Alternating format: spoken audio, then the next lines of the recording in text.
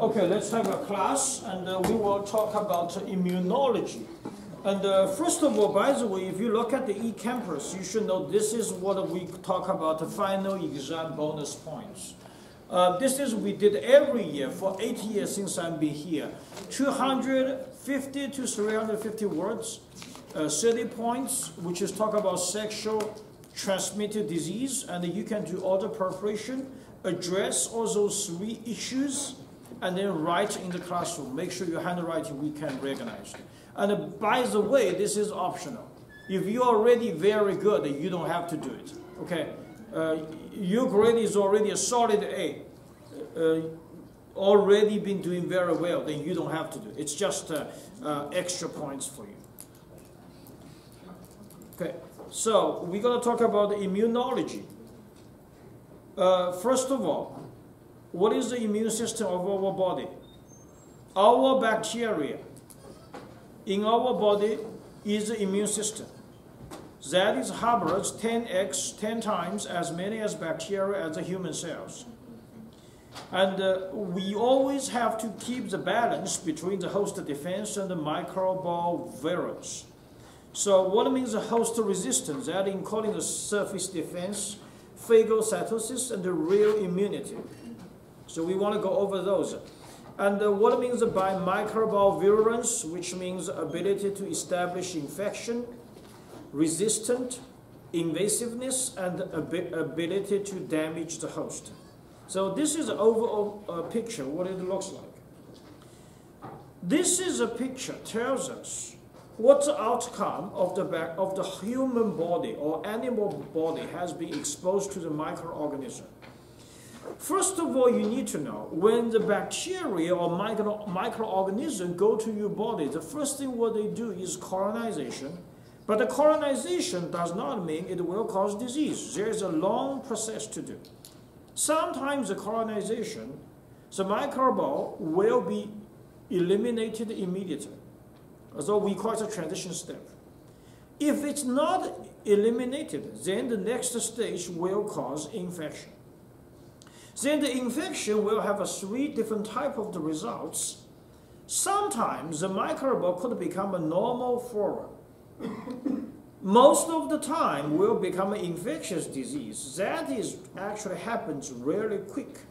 And how severe it is, it depends on your immune system, which is host resistant, and how virulence of the microbiology. And then what happened is, it could come out is an inapparent infection, which means asymptom, no symptoms. It could be eliminated, or it could be end up with something we don't like it with carrier status. It could be acute, chronic, and latent. Now, sometimes during the development of this infectious disease, it also could happen is no symptoms, but the bacteria is hiding somewhere. And you could be a resource of the contamination. And that happens all the time. Um, now, next one, we want to talk about the overview of the host resistant. Um, so for our body, when they attack by the uh, pathogen, there is something the pathogen has to overcome, is a surface barrier, and then they can be penetrated. Now, regarding the resistance of the host cell, what we talk about immunology, they really have two different categories, which is non-specific and specific. So we were going to get onto those details later on. Okay. So first of all, we want to talk about something uh, right here is when we talk about immunology,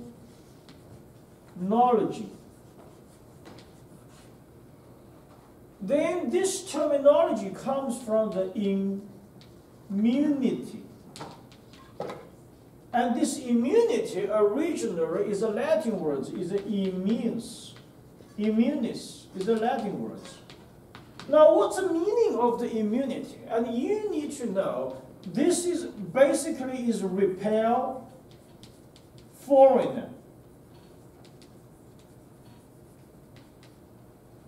So, if the body has been attacking or facing some of the foreign, which means they're not belonging to your body, the immune system gonna start to work.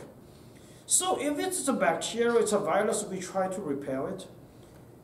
But be careful that immune ability has to be in appropriate level. If your overreaction, what will happen is sometimes it's an autoimmune disease or sometimes it's an allergy. Is that right? Your allergic reaction is overreaction from the immune, immunity standpoint. So the immunology basically is repel the foreigners. Now there is a two different type of the immune immunity. Is non-specific, which we can say is a universal immunology, immunity. Another one we call it specific. Um, this we will talk about basically is T cell and B cell. Okay? So here are some of the terminology we can uh, go over these. The immune system, composed widely by distributed cells, tissues, and organs, is recognized foreign substance to neutralize, destroy them. That's the immune system. Now, immunity, ability of host to resist a particular disease or infection. And what is immunology? That is the science behind the immune response. So therefore, there is a two different type of the, um, the system, which is non-specific and specific. Now, non-specific usually is the first one. It is pretty much universal and natural, and often uh, resistant to any microbial or foreign material. They do not have a, um, so this one now specifically lose or no memorization. No memory, you can say. And this is typically is the B cell and T cells, they all have the memorization. So that's um, one of the major difference between the non-specific and the specific immune. Okay, so that's something overall. Now we want to talk about some of the uh, non-specific ones. So regarding the non-specific one, there is a several things we can we, we could mention. Um,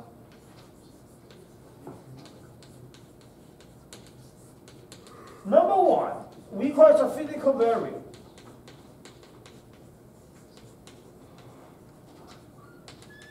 So physical barrier has a different level. The first thing first is the skin. The skin surface. And your skin surface, if you're feeling about it, it's a slight acid. It is about pH 5 to 6. A little bit below than the neutral pH. And very important, we have a salt, especially sometimes you do sweating. After that, you generate a salt. Remember a salt? It's about 1 to 3%. It depends that's going to kill bacteria cause uh, uh, anosmotic balance. So we know that the bacteria, if they're resistant salt, we call it halophiles. If it's not halophiles, it's not going to resist to the salt. So this is the first barrier. The second barrier we always talk about right here is our mucus.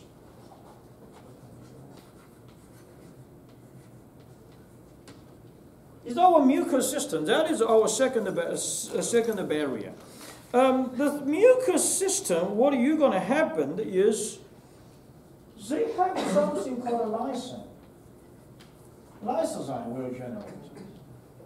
And the lysozyme will generate from there will be to attacking a bacteria cell wall. So if we still remember, this is a bacteria, let's say you have a If you remember, we talk about this all the time. LHH.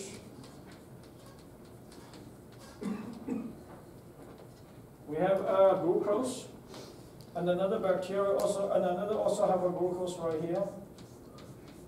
So I draw it briefly, okay. We go here, we go O, NH2, we go C, COOH, and the same thing right here, we go NH2, C, COOH. And these two right here will be connected with each other. Okay, how they connected with each other?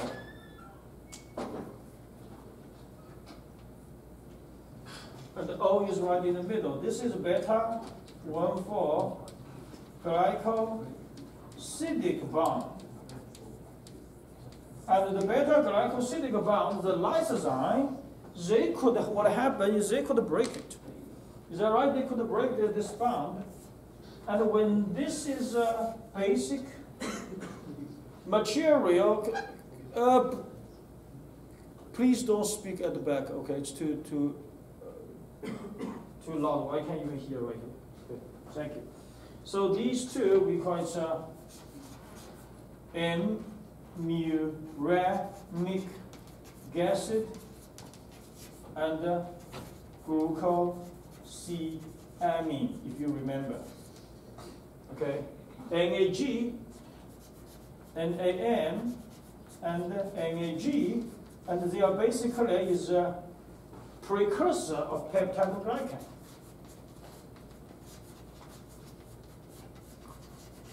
So this is what's function for the mucus. The mucus will have a lysozyme. The lysozyme will generate about that.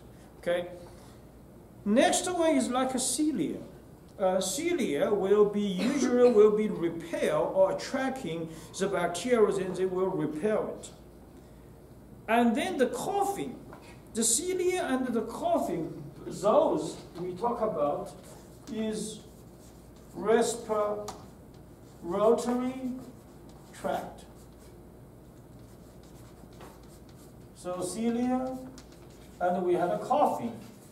Both will be repel the bacteria out. And then when we go down to our body, the lower level of the body, what you're going to see is uh, intestinal. The intestinal had a pH, very low pH liquid, which is stomach acid. The stomach acid, the pH is very low. It's about 1 to 2. Is that right? That's a defense system for killing most of the bacteria. And sometimes we have a salts. We have a bile solution there. And do not forget, in the intestinal area, it is our natural intestinal bacteria or we say microorganism flora, this is, will be a very strong immune system in our body. There's a lot of the research done by that. Remember, at the beginning, we talked about 16S rRNA technology, which is used to uh, do the research to see the diversity of these bacteria, intestinal bacteria population and uh, the proficiency of some of the bacteria, like bifidobacteria, like lactic acid bacteria, that certainly will favor the immune system, okay? So that's, and actually they play an important role than we just say. So that's intestinal. Then we go into our genital uh, urine tract or urinary tract. Then we have is a flushing, okay? Uh, we are going to pee, taking out of the uh, pee of our bodies, that is a flushing. It's a protection process. And we also talk about the urethra. The female's urethra is shorter, much shorter than the male. And uh, we talk about three. Uh, female average is about five uh, millimeter, and the male is about uh, 15 millimeter. And uh, this is, uh, sorry, uh, 5 centimeter, sorry, 15 centimeter.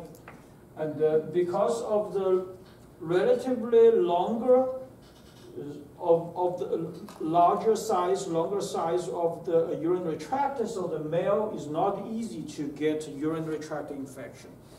So that's what we mentioned about. Um, so these basically, from the beginning to the end, we are see uh, from the uh, uh, up to a lower body, it has our natural defense system.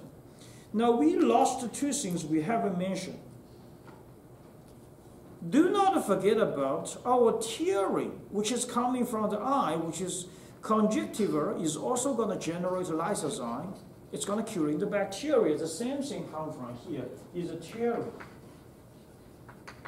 So there is a social survey showing that the female usually have a longer life compared to the male because they're always crying, so the tearing comes out, the lysozyme will generate, it will break down the bacteria if it's a bacterial infection. But there are some of the social surveys said about that. And another thing is also for the female, the, the vagina tract. Uh, most of the time we see uh, it should be not have a vagina tract, it should be a good defense system because of the lower pH. And they also have sometimes a normal lactic acid bacteria will existing there, so will be prevent the pathogenic bacteria. That's also defense system. And we mentioned about in the exam three, um, Staphylococcus aureus, if you are using the very absorbed tampon during the period of time, all the moisture will be gone, then the normal bacteria, the defensive bacteria will be destroyed, and then Staphylococcus aureus will be dominant and cause the toxic shock syndromes. So those are the some things uh, we want to mention at the beginning. So that's a surface defense system. Actually, is uh, is pretty complicated, much uh, complicated than we just talked. But these are the defense systems from the up to the lower body to protect you from the first line.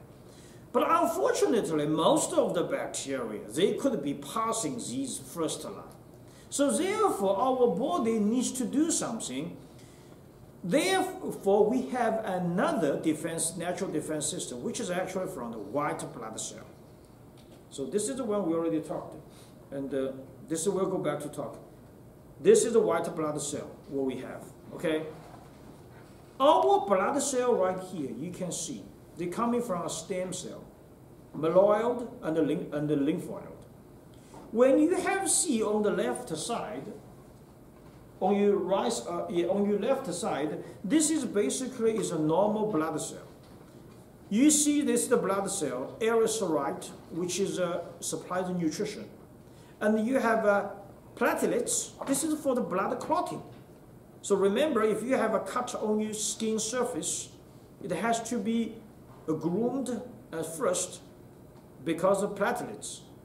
Now, one of the really uh, material inside of the blood cell to do the defense system is a macrophage which is coming from a monocyte and also which is a granulocytes.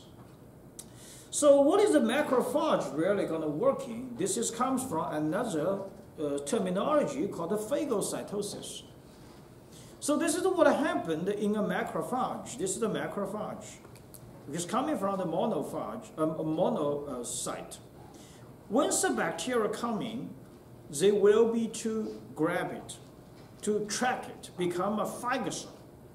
And the phagosome, once they entrapped it, they will be absorbed the lysozyme, and the lysozyme will be there and do the same thing, like what I drawn here, to break down the peptidoglycan of the N-acetylmuramic acid glucosamine to break down the bacteria. And finally, you will be lysis, and then you release it. So this is a terminology called phagocytosis and coming from the macrophage. Now, besides of that, we also had a, a white blood cell. We have a neutrophils, an, an eosinophil, and a basophil. So neutrophil is paying much attention, is paying an important role to curing bacteria. Eosinophil basically is for allergy and for um, anti-protozoal, and the basophil focuses on anti-protozoal. So both all of these three different type of the uh, white blood cell, we have another name for them is granulocytes. But actually from here, from the granulocytes and the macrophage combined together, this is called a white blood cell. Now, we really want to talk about here is a, a real immune system, which is B cell and the T cell. That's what we want to focus on, okay? Uh, here a couple of slides we skipped, but we want to briefly go over. This is what I just mentioned, the non-specific surface defense system. So uh, conjunctiva, lys lysozyme flushing action of the tears, respiratory mucus, normal intestinal flora there, then genitoury mucus, flushing action of the urine. Then you have oral mucus, and you have alimentary tract mucus, stomach acid enzymes, the skin surface.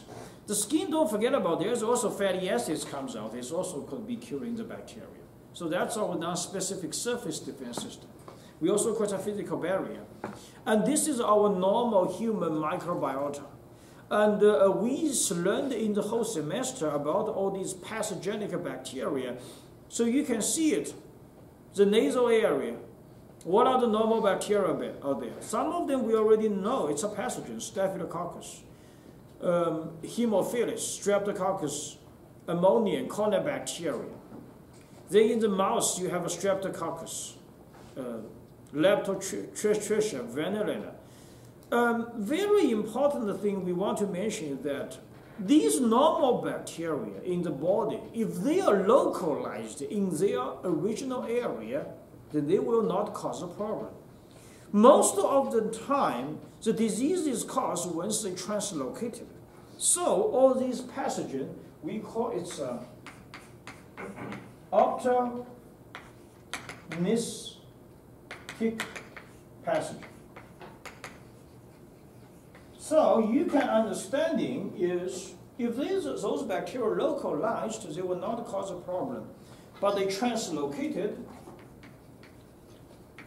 they will cause all type of the disease because they are looking for opportunity to cause, cause uh, infections.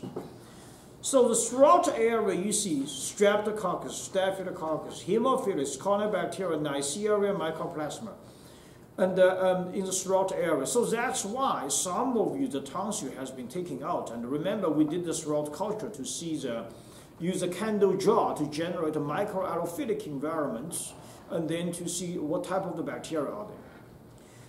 Now, on the uh, skin surface, we have these, ba these bacteria, Staphylococcus, Propionibacteria, Micrococcus, Bacillus, Stomach, usually very few bacteria can survive because of lower pH, but don't forget Helicobacter pylori. Remember what is Helicobacter pylori? Why they can survive? Because they have a urease. Remember urease breakdown? Urea become ammonium and carbon dioxide. So neutralize the pH back to 5, 6, they can survive. Now small intestinal area, basically uh, Candida albicans, Lactobacillus enterococcus, bacterials, large intestinal area. What are they really comes from? It's a fecal sample.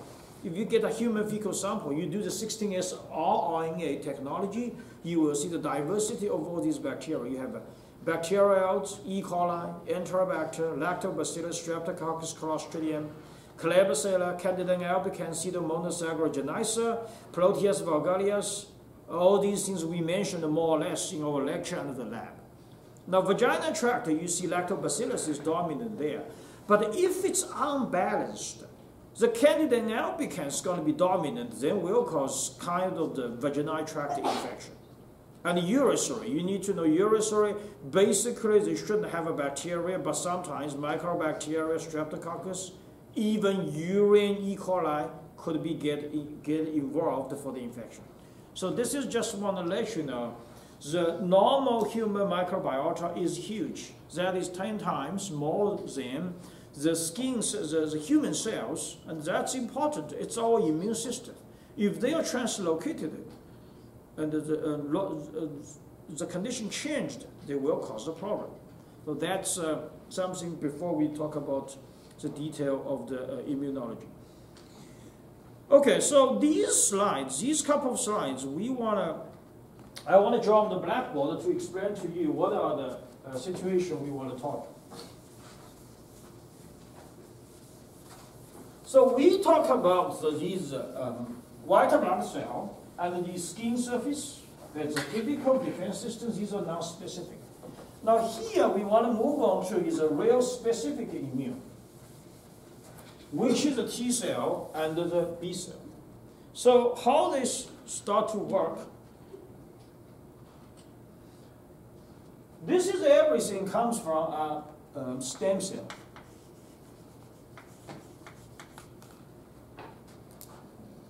Stem cell well goes to uh, two different lines. If they go to bone marrow,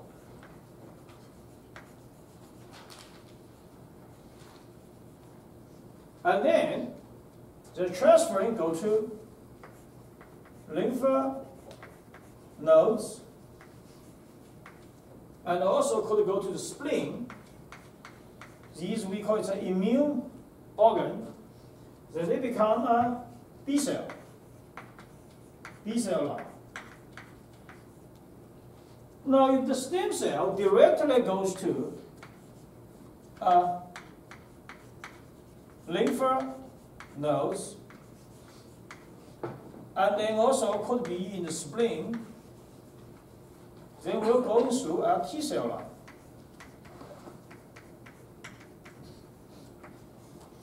And we have a terminology for that. The B cell line, we call it a humoral immune.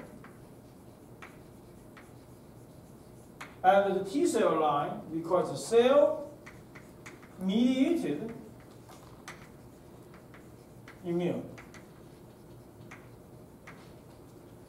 Now, the cell uh, mediated immune, actually, we could say the T cell um, mediated immune, but most of the time, this T, we take it out. That's why we uh, have an acronym called cell mediated immune. Now, what is this B comes out?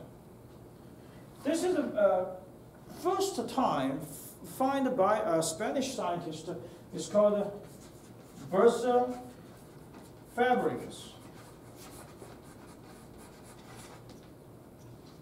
He's the first person to find it, the B cell. Now where it is, and I make the joke before, it is a muscle surrounding the chicken asshole, and then, that's why we buy chicken carcasses, we always take it out from the back. It's a very soft, fat uh, tissue area. So you take it out. Remember in the class, lab class, we look at the uh, chicken carcasses, I said that part is you should take it out because that is uh, dominant with B cell line, with, with, B cell, which is a Bursa fabricius. That's what the B cell comes from. Now, what's the major difference between T cell and B cell? Lots of the people will be saying the B cell line is, has a uh, memorization capability T cell line do not have, but that is not true. T cell line also have a T memory cell comes out, just because it's short. So I will say the major difference is that a short memory for the T cell and the B cell, we have a relatively longer memory. But the major difference you should know that the B cell will generate is antibody. And the T cell is not, so there's no antibody generated. Okay? So this is a major difference between that.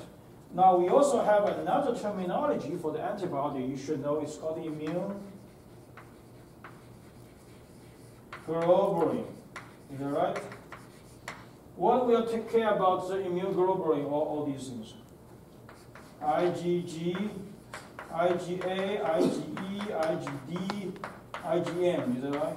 IgG is we really care about because um, pre, the more do, most dominant resource from the IgG is from the uh, breastfeeding for the baby. Is that right? So that's basic stuff. Now, then we go ahead a little bit, a little bit complicated. Okay, this system part of that we call it acquired active immune. Now, not, not, they have you, uh, the outline is B cell, T cell line, but what really it comes from? This is really depends on what type of the antigen it is. So remember we have an antibody. The antibody has always have to react with antigen. then they can compact with each other. So depends on the size of the antigen, we could talk about that. If this antigen is a large complex, a large complex antigen, what are you going to do? The first thing when they go to the body, they're going to go ahead and find is a very strange cell, like a leafy of the tree. This is called a dendritic cell. The dendritic cell have another name, which is called antigen presenting cell. Now, on the surface of the dendritic cell, there is some of the very special structures there. What are they? It's called MHC. What is the name of the MHC? It is major histocompatibility complex. And then when you have this large, those very large antigen goes there, they will be let the MHC to recognize it because the function of the MHC is to recognize foreign, which at this moment is an antigen. Okay, then they will generate what? T cell, which is T killer cell, T uh, memory, memory cell, T helper cell, and sometimes we call the CTL cytotoxin cell, cytotoxin cell, okay, all kinds of okay, etc. So that's a T cell line. Now, if the antigen is a little bit small, we call it a small soluble antigen. Not going to be that large. It's a smaller one, relatively small. What's going to happen? Then that's very simple. It will be go ahead to find is a B cell. Now, what is inside of the B cell? What will be dominant on the surface of the B cell? It will be dominant some structure like this. What are these? Antibody.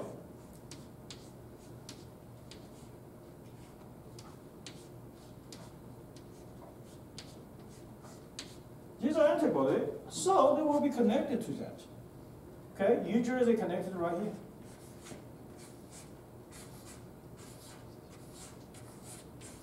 And once they connected to that, what's going to happen? See what happens is a multi for cloning. They will generate more B cell comes out.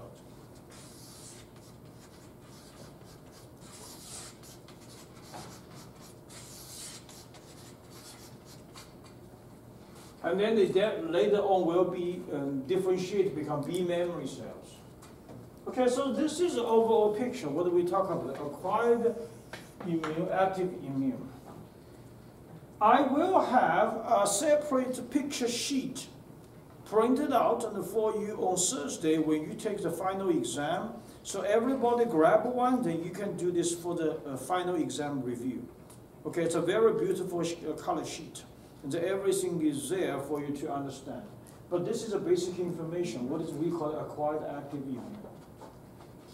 So since we talk about acquired active immune, we want to go a little bit deeper about that. What do, what, what do we really talk about, the active immune? This is lots of the time, I don't have the slides for that, but lots of the time we mentioned, um, you learned in your other classes, we just want to some of the conclusion here, okay? The whole blackboard here is active immune, but active immune has a different category. we have a natural acquired active immune.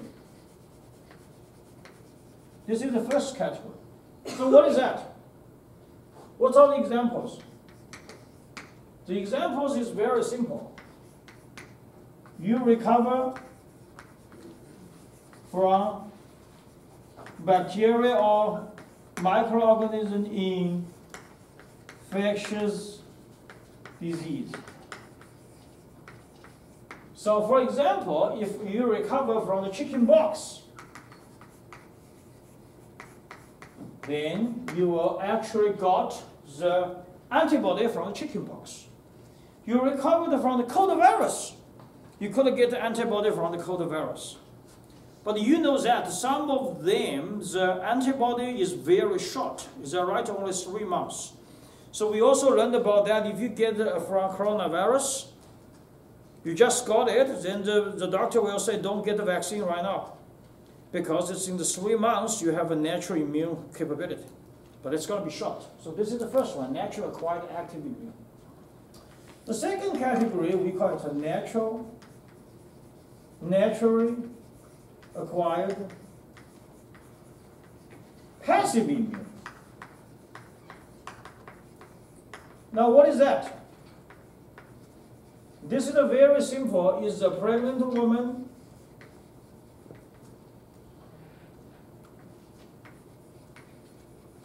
going to newborn baby. And uh, breastfeeding, okay? Because they have a huge amount of the IgGs right there. So that's a natural acquired passive immune, which means you not want to get it, but you, the baby come out of the body naturally acquired. It is a passive, naturally acquired passive immune. Number three category, since we have a natural acquired, then we also have an opposite to that, we have an artificially. Arti artificially acquired, I need to make sure the terminology, the spelling is good. Um,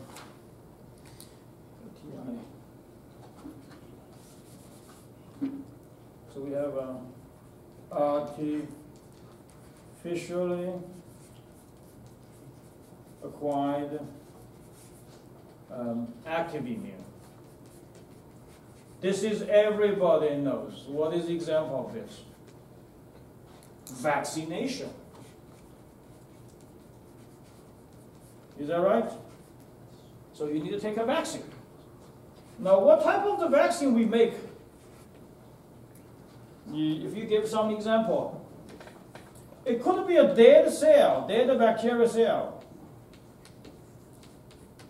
So what are the examples of that? Polio, is that right? Polio, you have a sugar, uh, sugar like a candy taking in your body, which is a polio. That's a dead bacteria cell. Attenuated bacteria cell. Attenuated bacteria cell, usually it is most effective because it's still alive. What's a good example? MMR. Measles, and mumps, under, and rubella. And everybody, uh, foreign students go to United States and require you must take that MMR. One shots in your lifetime. now what else you have? Toxic like chemicals. So we have a terminology called toxoid. What's the example? DTAP, diphtheria, tetanus, A, cellular, and pertussis. This is not very strong. This is going to only activate the T cell line. So it's a very short memory capability. Therefore, we need a booster. Remember, we need a booster for DTAP. Now, what else we have the vaccine? It could be in, um, engineered, okay? Engineered, uh, genetic engineered, and we also learned from, from S protein for our coronavirus vaccine, one of them. Moderna, or I don't know, Pfizer, Moderna, one of them come from the S protein of the coronavirus. That's something relatively new. So this is a vaccine. So if you get a shots from the vaccination, from the vaccine, you get a shots from the coronavirus, that is called artificially, artificially acquired active immune. Okay, and then we have a last category, what is that? Artificially acquired passive immunity.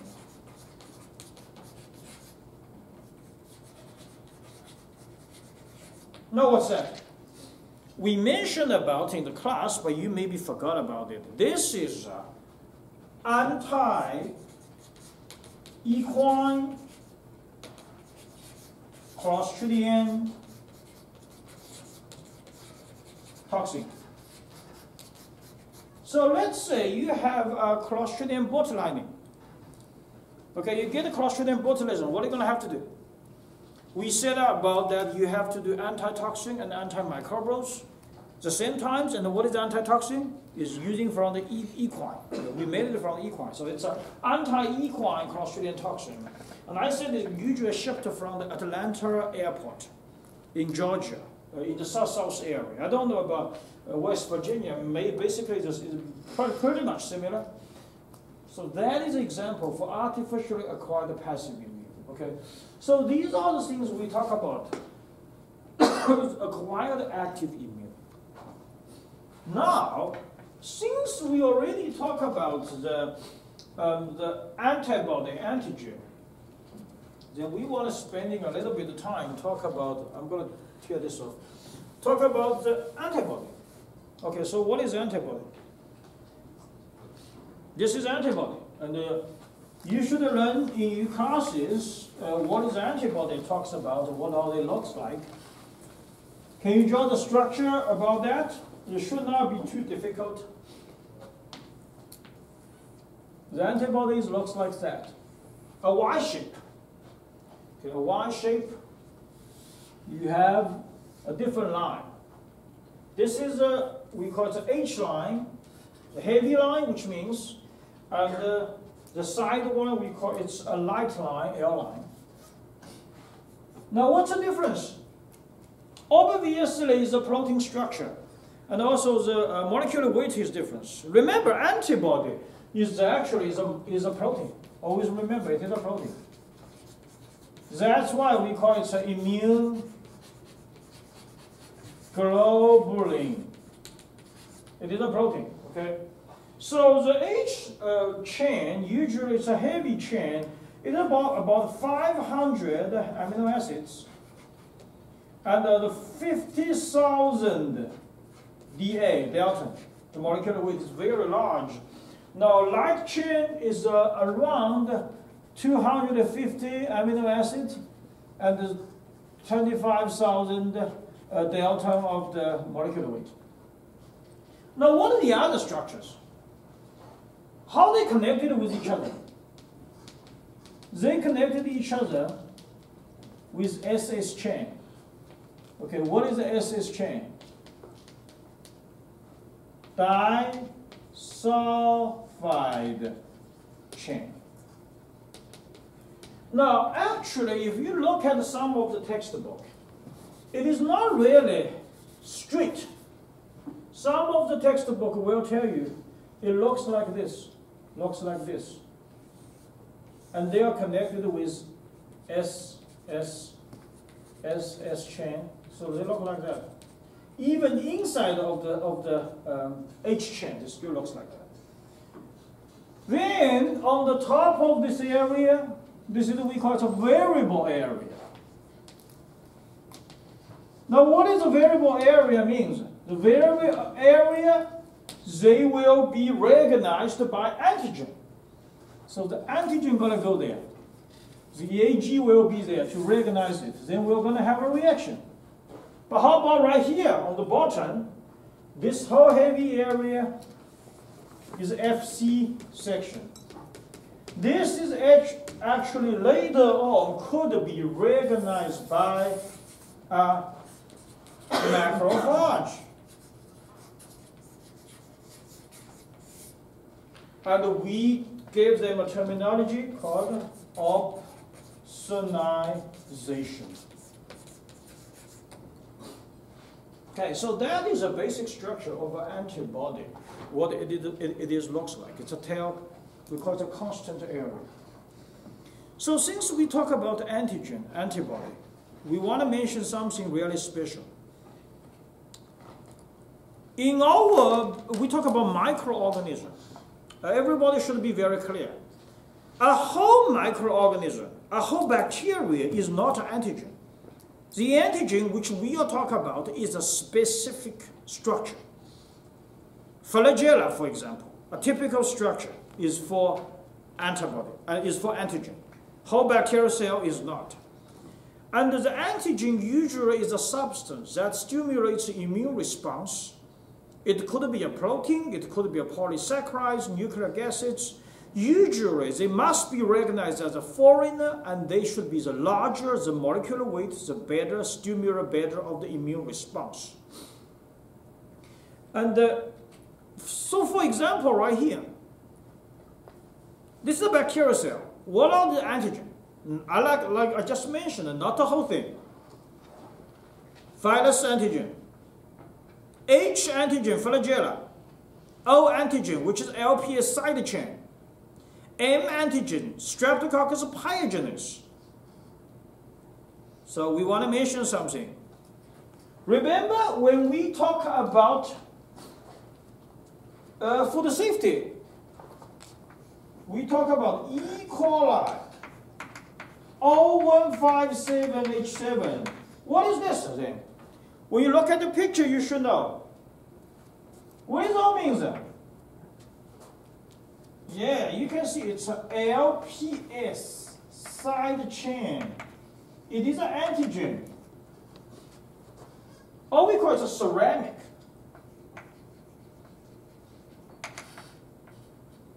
What does H mean? Flagella. Now, what is 157 and 7 means? It's a serological typing.